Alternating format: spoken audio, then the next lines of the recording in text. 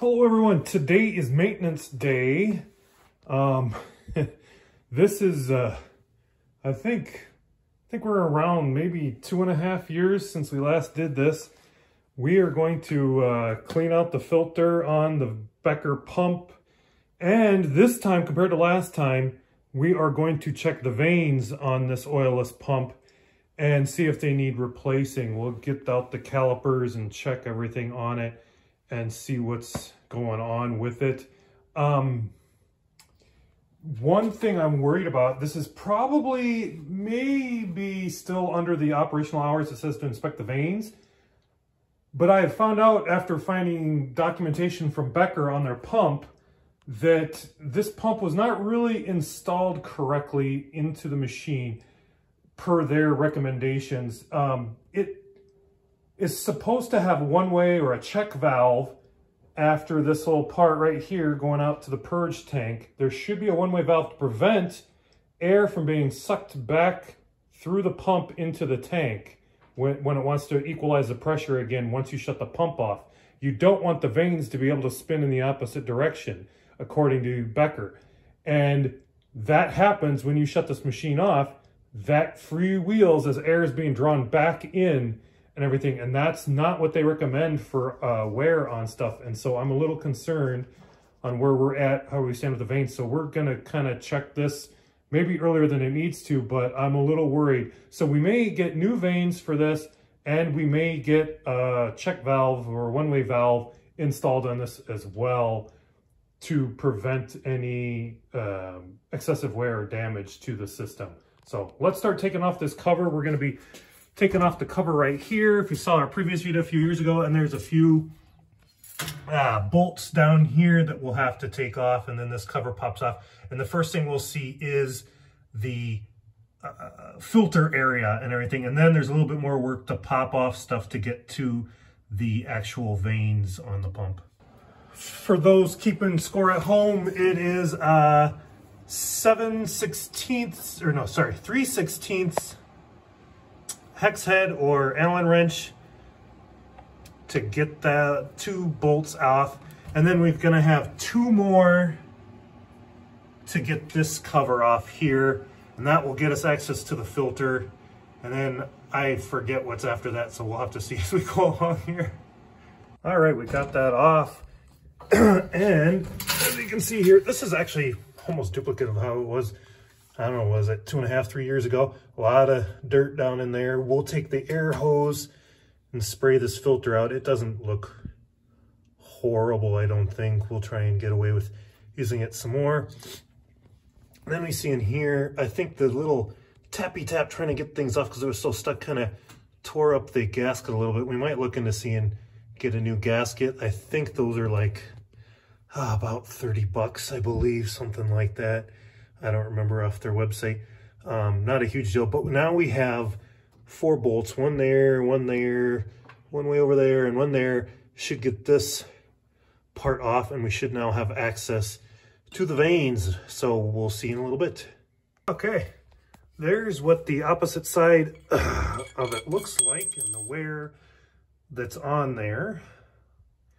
I don't really know if you should clean that off or not. I don't know what the best practice on that is.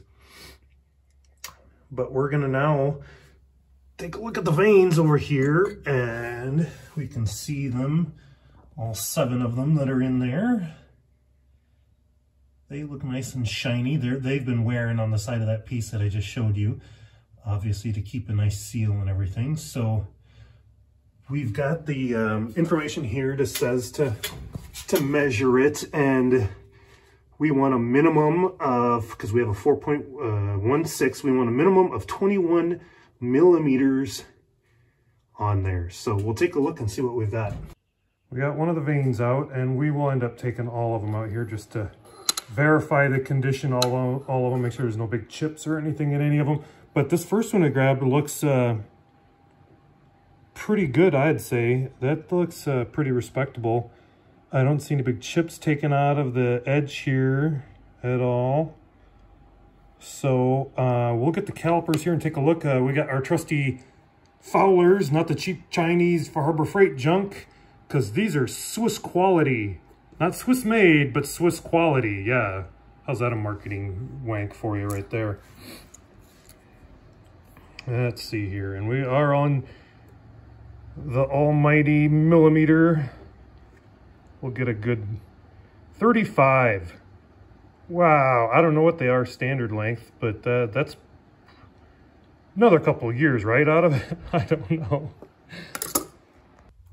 All right, so we looked at the spec sheet on this, and given that these are 35 millimeter, uh, which says is the maximum height on these, actually a little bit more than what they say, according to the manual, this is um, hardly worn at all, I guess which seems amazing to me because I we may not be at 3,000 hours, but we're, you know, well over half of that and everything. So that is uh, pretty crazy that these have only worn that much and everything. So I guess kudos to Becker for that because that's pretty good. I don't know what people most people use for vanes if they're buying the Becker ones or they're buying some cheap knockoff ones, but for us, the Becker ones, the original ones seem to be pretty good. We'll check, like I said, we'll check the rest of these vanes and see how they are. But off the bat, I'd say this is pretty darn good. I, I don't mind this. We have to also make sure when we put this back in, we get the angle correct so that we aren't going the wrong direction with that slope on the vane.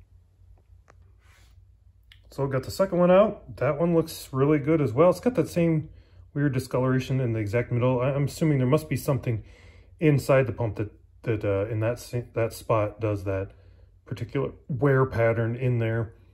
But it looks pretty good. Um, let's uh, we'll get the calipers out and see what we've got here. But I don't see any reason why this won't be probably pretty close to the same.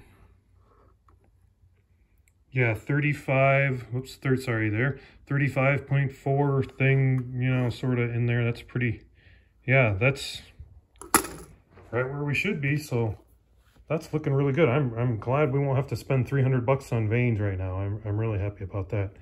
And uh, there's a little bit of wear stuff maybe on this side that's, I have to look at that other one again too and see where it's wearing inside there, but uh, see if they all look similar. Because this slides up and down in the thing as its centrifugal force flings it out as it's rotating around.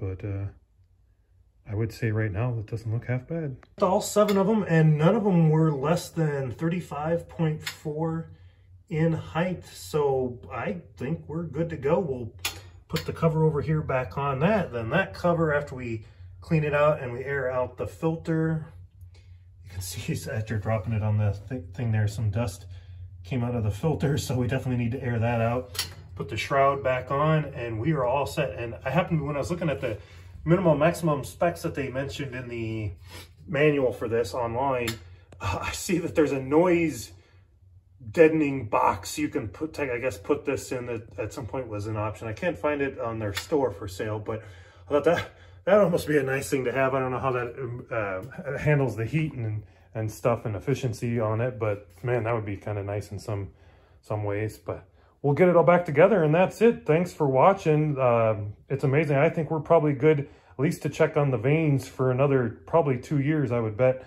at this stage. And then uh, as much as we're running it, if we start to run it a lot more, we'll have to check it again sooner. But yeah, that's pretty good. Those seem just about brand new as far as I can tell for specs on it. So we're good for quite a while, I think.